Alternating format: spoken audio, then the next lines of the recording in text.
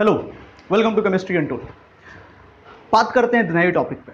अगला टॉपिक है intensive and extensive properties thermodynamics का basics video number third sir what are intensive properties and what are extensive properties जब भी आप thermodynamics में किसी सिस्टम की पढ़ाई करते हो सर उस सिस्टम की कुछ प्रॉपर्टीज़ होती हैं। जैसे मुझे मेरे एक कटोरी के अंदर शहद दिया हुआ है हनी जिसको वो कहते हैं। मुझे उसकी पढ़ाई करनी है। मुझे देखना उसमें क्या एनर्जी में चेंज आता है। तो सर उस शहद की कुछ प्रॉपर्टीज़ होंगी। उसका कलर उसका टेस्ट उसका वॉल्यूम उसका टेम्परेचर उसका प्रेशर उसका वेपर प्रेशर पता नहीं कुछ भी, उसका रेजिस्टेंस उसका कंडक्टिविटी उसका डेंसिटी उसका specific heat you know there are many properties जिस शहद के बारे मैं बात कर सकता हूँ। तो सर, जब भी मैं किसी चीज़ के, किसी सिस्टम की बात करता हूँ I have got some properties जो सिस्टम के साथ कनेक्टेड हैं, जो उस सिस्टम के बारे में मुझे बहुत कुछ बताती हैं। तो सर, ये प्रॉपर्टीज़ को हमने दो कैटेगरीज में डिवाइड किया जैसे पहली कैटेगरी जहाँ हम डिवाइड करते हैं, उसको कहते हैं इंटेंसिव प्रॉपर्टीज़ दूसरी कैटेगरी को कहा जाता है extensive property what are intensive properties sir intensive properties को समझने के लिए जो डेफिनेशन दिया जाता है इंग्लिश में टेक्स्ट बुक्स में, वो ये कहता है any property of a system which is independent या which is not dependent on the amount of matter present will be called as intensive properties मतलब क्या? सर मतलब समझने का बड़ा आसान तरीका। एक काम करो, मैं आपको एक ग्राम जहर देता हूँ। पॉइजन पॉइजन आप मर जाओगे। सर जहर अगर खाओगे पोटेशियम साइनाइड या बहुत जहरीला कोई जहर होगा तो सर ऑब्वियसली मर जाओगे। अच्छा अगर मैं आपको एक किलो जहर दूँ, सर, तब भी मरने वाले हो। सर मतलब जहर का पावर जो होता है, वो इंडिपेंडेंट होता है कि छोटा दिया है आपने जहर, थोड़ा दिया है कि आपने बहुत ज़्यादा क्वांटिटी में दिया। सर, नहीं समझ में आया। एक और एग्ज़ाम्पल ले लेते हैं। सर, मुझे एक बात बताओ। शक्कर का एक दाना टेस्ट करूँ कि मैं शक्कर एक किलो खा जाऊँ, जिसको शुगर कहते हैं। एक दाना टेस्ट करूँ कि उसको पूरा खा जाऊँ। तो शक्कर कितना भी क्वांटिटी में हो, फ़र्क नहीं पड़ता। टेस्ट तो मिठाई आने वाला है। नमक का एक क्रिस्टल लूँ कि नमक एक किलो खा जाऊँ? सर, नमक का खारापन तो वैसे भी सॉल्टीनेस आने वाला है। यानी कलर यानी taste taste is independent of the amount amount कितना है उस पर फ़र्क नहीं पड़ता।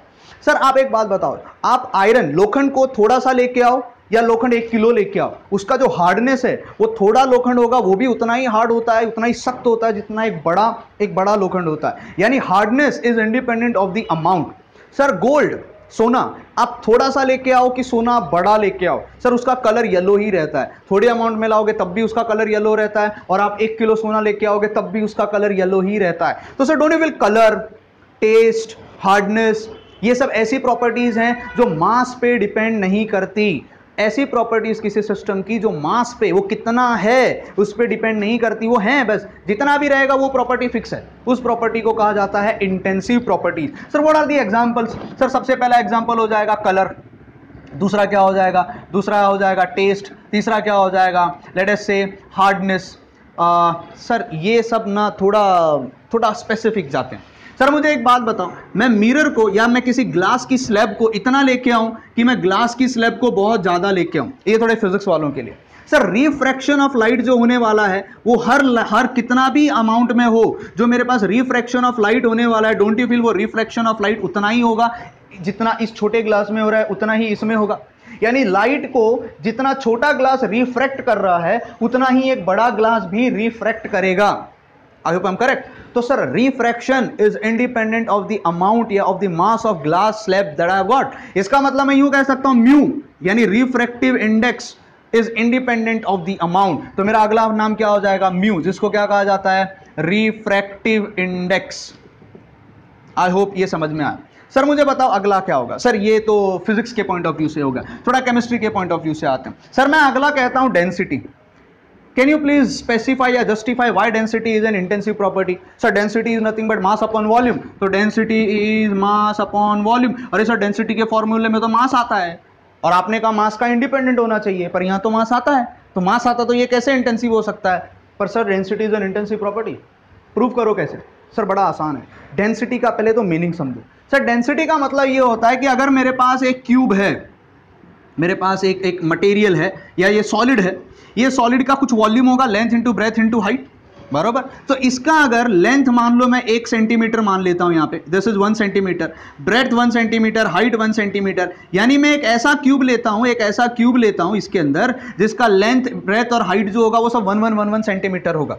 अगर लेंथ ब्रेथ और हाइट सब वन सेंटीमीटर होगा, उसके अंदर कितना वज़न है? इतने छोटे से क्यूब का या इतने से छोटे से हिस्से का कितना वज़न है, उसको कहा जाता है डेंसिटी डेंसिटी इज़ मास पर यूनिट वॉल्यूम छोटे से यूनिट वॉल्यूम में कितना वज़न है? सर आप मुझे एक बात बताओ। अगर एक सेंटीमीटर एक सेंटीमीटर एक सेंटीमीटर में इतना वज़न है तो अगला एक और सेंटीमीटर जब आएगा तो उसका वज़न कितना होगा? सर ऑब्वियस सी बात है, बड़ा आसान है, बता देना। इसका डबल हो जाएगा।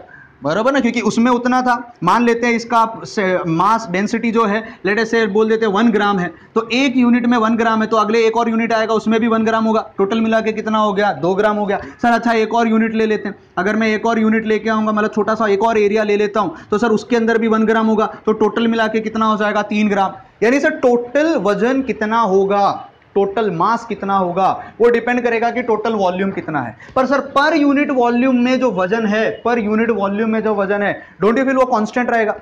नहीं समझा? सर अच्छे तरीके से समझा दो। मान लो मेरे क्लासरूम में पचास बच्चे बैठे हुए हैं, और हर बच्चे के पास दस दस दस दस दस दस रुपए का नोट है। तो मेरे पास, हर बच्चे के पास कितने का रुपए का नोट है? दस रुपए का है। तो टोटल क्लासरूम में पैसा कितना है? पाँच सौ। अच्छा अगर पाँच सौ पचास बच्चे की जगह अगर सौ बच्चे हो जाते तो?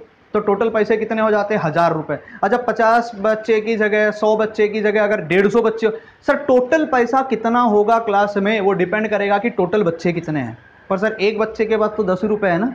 तो सर, एक बच्चे के पास जो पैसा है, वो तो फिक्स हो गया ना? टोटल कितना पैसा होगा डिपेंड करेगा बच्चे कितने हैं। Sir similarly per unit volume का जो वज़न है, वो तो फिक्स हो गया ना?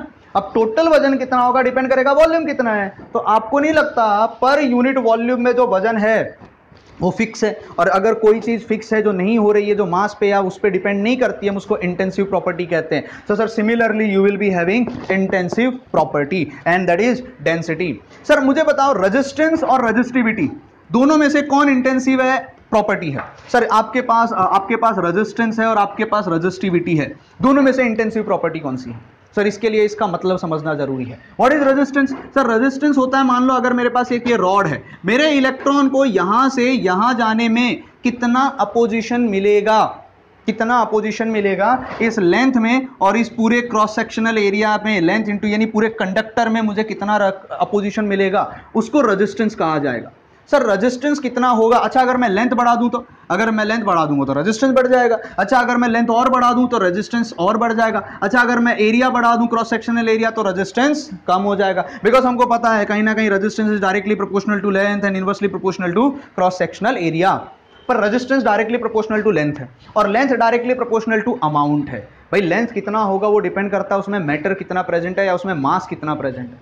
तो सर रजिस्टिविटी क्या होता है? सर, मान लो अगर मैं इसी कंडक्टर को लेता हूँ, और इस कंडक्टर को मैं डिवाइड कर देता हूँ छोटे छोटे क्रॉस सेक्शनल एरिया में मतलब मैं ये कंडक्टर है मेरे पास, और इसको मैं छोटे छोटा एक मीटर, एक centimetre one centimetre one centimetre one centimetre one centimetre one centimetre one centimetre one centimetre मतलब मैंने छोटे छोटे छोटे छोटे एरियाज़ में इसको डिवाइड कर दिया। सर, इस छोटे से एरिया में जितना भी रजिस्टेंस मिलेगा, उसको रजिस्टिविटी कहा जाता है। आप समझ गए रहेंगे मैं क्या कहना चाहता हूँ। थोड़ी देर पहले मैंने डेंसिटी के बारे में बताया। सो सर रजिस्टिविटी जो होगा, आपको नहीं लगता वो फिक्स वैल्यू होगा? टोटल रजिस्टेंस कितना होगा वो डिपेंड करता है कि कितना इलाका है, या कितना वज़न है, या कितना मास है, या कितना लेंथ है। तो sir don't you will resistivity resistivity resistivity will be an intensive property. And where, what will be resistance? Resistance will be an extensive property. Sir extensive समझ गए रहेंगे। सर एक्सटेंसिव प्रॉपर्टीज़ वो प्रॉपर्टीज़ होती हैं जो मास पे डिपेंड करती हैं। और यार इंडिपेंडेंट ऑफ़ मास रहेगा इंटेंसिव कहा जाता है। इंटेंसिव इंडिपेंडेंट इन इन इससे याद रखना। और एक्सटेंसिव यानी वज़न पे डिपेंड करती हैं। तो क्या आप मुझे नाम बता सकते हो एक्सटेंसिव प्रॉपर्टीज़ का क्या एग्जाम्पल्स क्या होगा? सर सबसे पहला एग्ज़ाम्पल हो जाएगा उसका लेंथ दूसरा एग्ज़ाम्पल क्या हो जाएगा उसका? वॉल्यूम ले सकते हैं। तीसरा एग्ज़ाम्पल क्या हो जाएगा उसका? वेट या मास मास या वेट उसका वेट हो जाएगा। और क्या हो जाएगा सर और मेरे पास आ जाएगा रजिस्टेंस उसका resistance will be an extensive property because वो डिपेंड करेगा कि उसका लेंथ कितना।